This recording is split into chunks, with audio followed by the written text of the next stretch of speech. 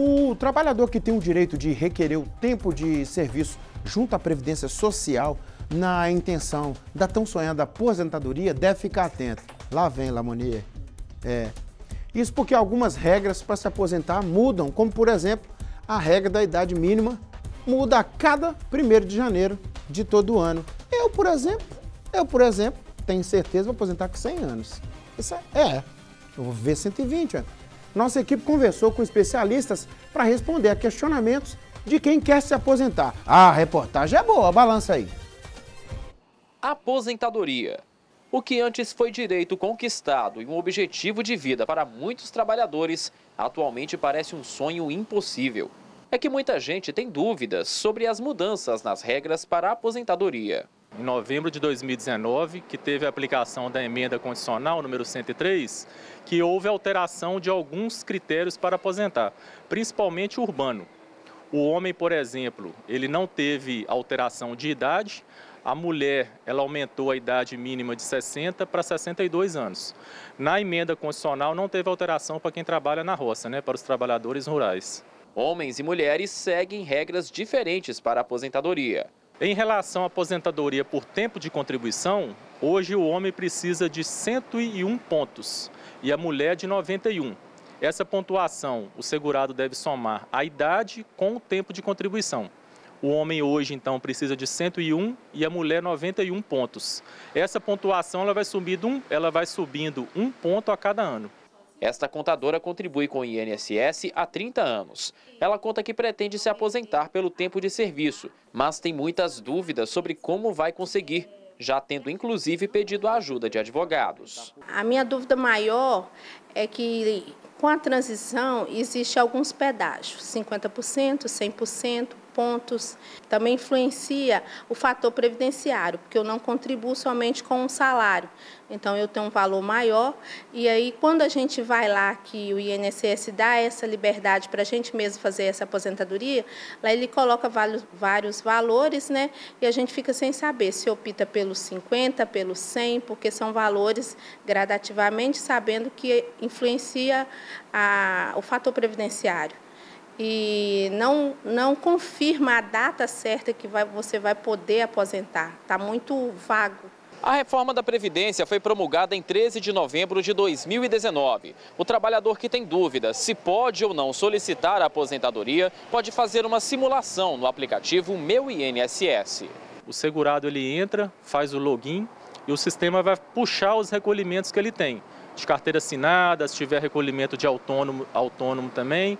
Aí o próprio sistema, no, no final do, da simulação, ele aparece lá o extrato de, do tempo de contribuição. Caso o segurado se enquadre em algum critério para aposentar, o próprio sistema no final ele dá a mensagem né, que já possui o direito para requerer o benefício. Mas a Érica, além de dúvidas, tem uma certa desconfiança com o app da Previdência. Por isso, fomos tirar algumas dúvidas com uma advogada. Conta aí sua dúvida, Érica. Como que é o meu INSS? Porque eu estou achando que está muito vago a, a, orientação ali no meu INSS para as pessoas. Então, o especialista do INSS é, poderia passar para quem faz a programação algo mais fácil de do cidadão, do trabalhador, ter essa informação de uma data mais precisa, assim como era antes, porque com essa regra de transição ficou muito complicado. Eu não sei quando eu vou aposentar. O aplicativo em si ele é seguro, né? Os requerimentos são feitos de forma segura, você pode acessar, você vai encontrar os seus dados. O que nós não recomendamos é que você seguir pelo simulador de tempo de contribuição que consta lá dentro.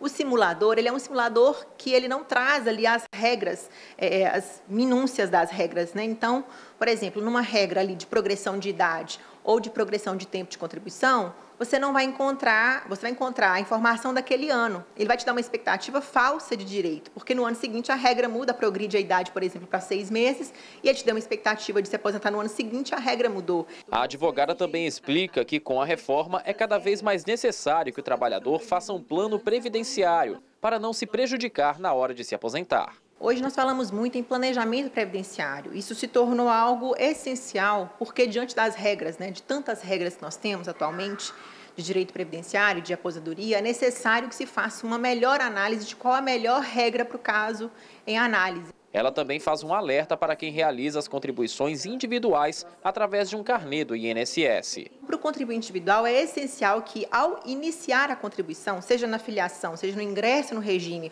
ou quando ele perde a qualidade de segurado, ele volta para o regime, que ele faça em dia, sob pena de todas as outras que vierem subsequentemente não serem validadas. É importante também que essa contribuição seja feita no valor do salário mínimo, porque inferior a isso ela também não será validada. Mas se mesmo depois de todas estas explicações você ainda tem dúvidas, a orientação é procurar ajuda de um profissional qualificado.